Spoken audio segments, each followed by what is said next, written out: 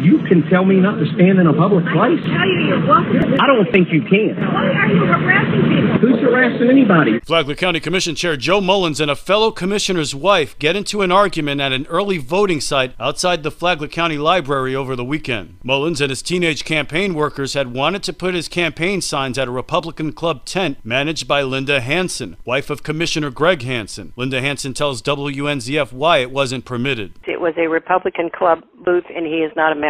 He approached in a hostile manner and said, I'm going to put my signs in here. And I said, I'm afraid I'm not supposed to let you do that. And he became belligerent pretty quickly. And I asked him to please step away from the booth because he was angry. And he said, I have every right to be here. He was getting louder and louder. And I said, Yes, you do. But you don't have a right to stand here and harass people over this. Mullins responded to WNZF. I think there's a lot of misunderstanding and emotions. But being a member of the Republican Party, and I support them very strongly, we all have rights. It wasn't just me, it was a couple of other candidates they were excluding. We all have the right to be represented as Republicans, and they cannot endorse any particular candidate. Mullins had also directed some of his teen campaign workers to video the whole thing and other scenes at the voting site to Hansen's objection. That caused more tension. Flagler County deputies were eventually called to the scene and found no crime, just arguing. Hansen, who says she never felt threatened, says she plans to address the issue of voter harassment and voter intimidation with the supervisor of elections. It was really inappropriate. It was unfortunate that the entire thing happened. This community is better than this.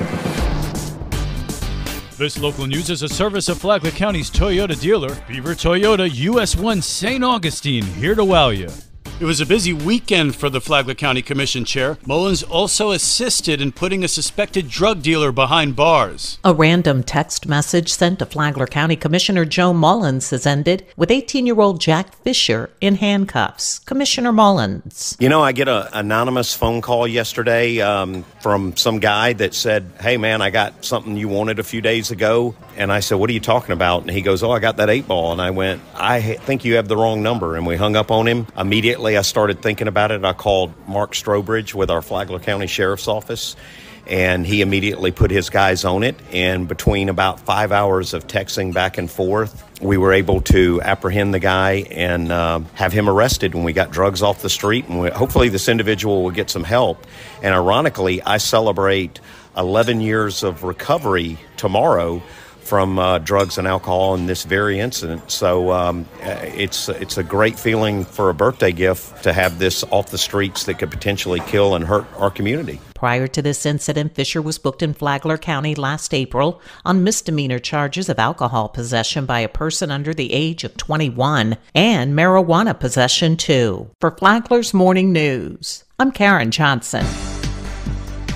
So, anyone out there right now who has just moved to the area, we need you. We do have some vacancies in a number of our schools. Flagler County is not immune to the teacher shortage that's hit schools nationwide. Superintendent Cathy Mittelstadt tells WNZF they have 17 educator openings. Unfortunately, as it closer to the start of school, that's when our principals start to get nervous because we have to put an adult in front of every single kid in a classroom. So, we do have some substitute teachers that we'll be leaning on and getting them engaged, but we do have some vacancies. We also need paraprofessionals. Those are teacher aides in the classroom, and they're such a valuable asset to how a teacher works with small group learning and doing some different things that are very creative in the classroom. Paraprofessionals require an associate degree. Out of state educators are welcome too, and the district will help them get the certification they need to start teaching in Flagler County. From the WNZF Newsroom, I'm Amy Cherry.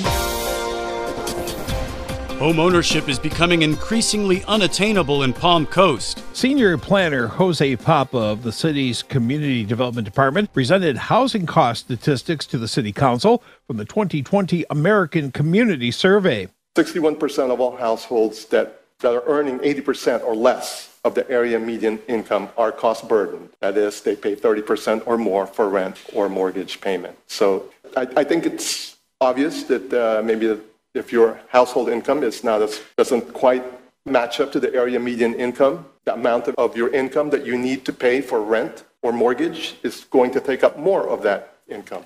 And the impact goes beyond high housing costs. These cost burdened households have a certain vulnerability to financial distress or homelessness. And that occurs when, should a sudden emergency expense occur, whether it's health care, significant home repair, or a sudden rent increase that, as we've seen or as we've heard anecdotally, but probably is true in recent times. According to the 2021 census estimate, Palm Coast residents making below $46,000 a year are considered moderate to low income. For Flagler's Morning News, I'm Rich Petchke. Former Palm Coast Mayor Melissa Holland said shortly after his death in March that Joe Rizzo was a fierce and tireless advocate for education in Flagler County. With that, Joe Rizzo's wife Teresa said she has some big shoes to fill as the Flagler County Ed Foundation's new executive director. Stepping into his shoes with his flair has definitely been uh, a huge leap, but I'm excited for the leap. I'm excited for the opportunity to continue to sustain what he created this wonderful foundation, but then to elevate it to the next level. Teresa Rizzo said that her family would carry on Joe's work, as she said that even her children say it's important work in Flagler County. You can listen to Lifeline, where we interviewed Teresa Rizzo on Saturday mornings at 9 here on WNZF or anytime on the Flagler radio app. Tomorrow, who was Joe Rizzo? From the WNZF newsroom, I'm Deb Albertson. And now you're up to date on Flagler's Morning News. I'm Rich Carroll.